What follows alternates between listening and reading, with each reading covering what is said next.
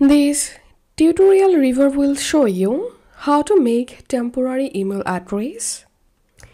In order to make temporary email address, you can use a disposable email address.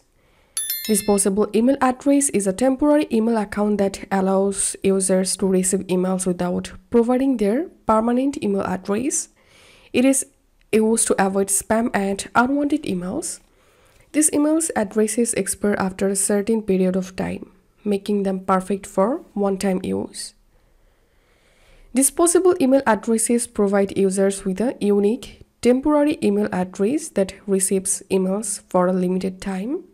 After expiration, the email becomes inactive and no emails are received.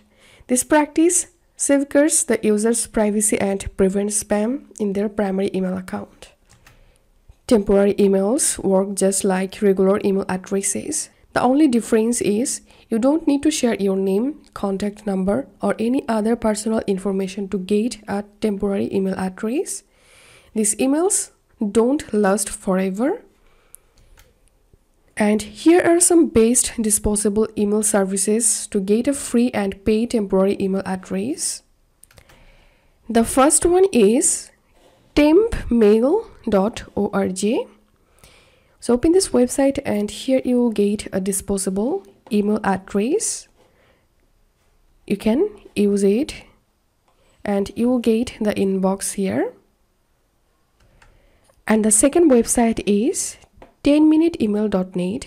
Also here you will get a temporary email address for 10 minutes and here is the email inbox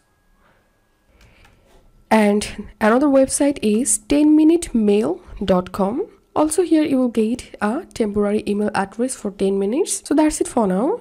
If you find this video helpful make sure to subscribe to tutorial river. See you in the next video